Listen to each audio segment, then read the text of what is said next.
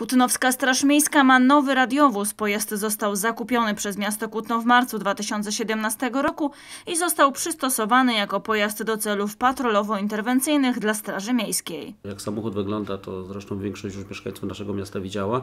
E, To także jest on wyposażony w przedział dla osób ujętych.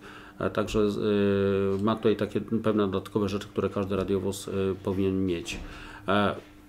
Ten samochód generalnie nie jest żadnym dodatkowym samochodem, jednakże zostanie e, wymieniony już ponad 12-letni e, inny pojazd e, Hyundai, który także jest na wyposażeniu Straży Miejskiej, który w niedługim czasie zostanie no, zbyty przez miasto, czyli albo to w formie przetargu, no a jeżeli się nie znajdzie, to w jakiejś innej formie.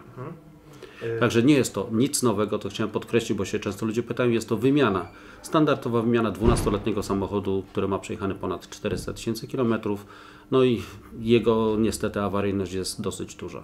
Koszt zakupu pojazdu wyniósł 107 650 zł, mówi Ryszard Wilanowski, komendant Straży Miejskiej w Kutnie. Jest to większy samochód, chodziło także tutaj o, o to, żeby również był większy przedział dla, tych, dla, dla y, osób zatrzymanych, żeby był zachowany jakiś komfort y, jazdy, nie ściśnięty ktoś, kto, kto będzie przewożony w jakiejś klatce, no ale no to również staramy się zapewnić także komfort za, zarówno pracy strażników miejskich, jak i osób przewożonych. Mm, Zresztą, jak Państwo to na pewno zauważyliście, tego typu pojazdy policyjne czy też Straży Miejskiej są gabarytowo takie same.